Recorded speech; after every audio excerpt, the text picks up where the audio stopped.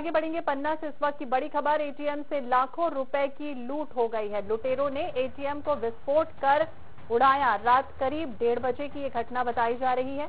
दो नकाबपोश लुटेरों ने वारदात को अंजाम दिया। मामले की जाँच में पुलिस जुट गई है। तो पन्ना से इस वक्त की बड़ी खबर, दो नकाबपोश लुटेरों लुटेरों ने वारदात को अंजाम दिया एटीएम को उड़ाया और उसके बाद जो पैसे हैं वो लूट कर ले गए हैं। तो करीब डेढ़ बजे रात की पूरी घटना बताई जा रही है।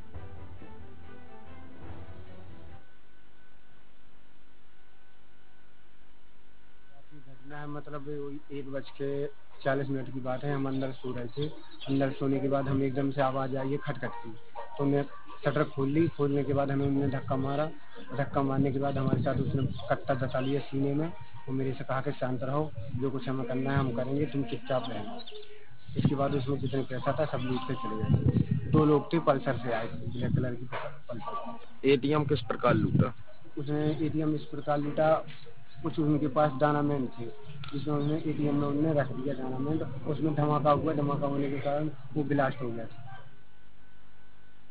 तो धमाके से जो है एटीएम में विस्फोट किया गया है लुटेरों ने, और उसके बाद दो नकाब नकाबपोश वहाँ पहुँचे थे, जो वहाँ लोग देख रहे थे। उन्होंने बताया कि किस तरह से कट्टे की नोक पर ये जो है वारदात को अंजाम दिया गया है। करीब डेढ़ बजे रात की घटना है, जब एटीएम में लूट हुई है।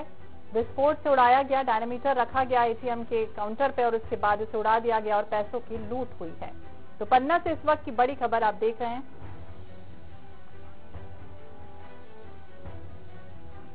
और ज़्यादा जानकारी के लिए हमारे साथ संवाददाता कादिर खान जुड़ गए हैं। कादिर, जिस तरह से लूट हुई है और ये विस्फोट से उड़ाया गया है, क्या कुछ क्या कुछ कहेंगे और क्या अपडेट है इस मामले में? अब क्या आगे की कार्रवाई हो रही है इसे लेकर?